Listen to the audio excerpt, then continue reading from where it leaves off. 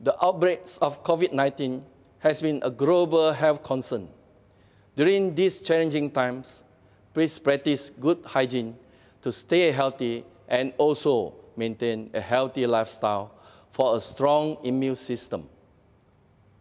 I would also like to remind you to follow the advice of your local health authority for the well-being of everyone. Most importantly, during this trying time, let us be compassionate and supportive of those who are impacted by it. We can play our part in this fight against the COVID-19 outbreak. Our worldwide officers are ready to support you as always.